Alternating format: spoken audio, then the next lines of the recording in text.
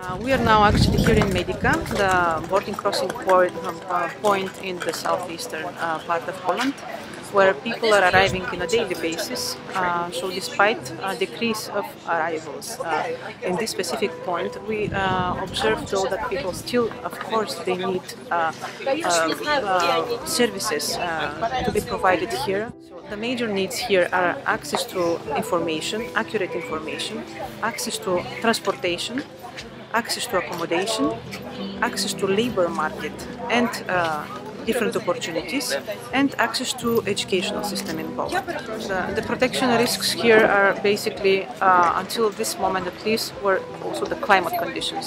It was very cold, so people were arriving in a, in a very um, difficult uh, situation with a lot of stress and tiredness and cold from the other side of the border. Really uh, vulnerable people arriving in the sites are mainly women uh, with uh, very small children um, that are having no solutions, no relatives, no protective environment either in Poland or other countries and they're requesting for support for every uh, to access every fundamental right that they have.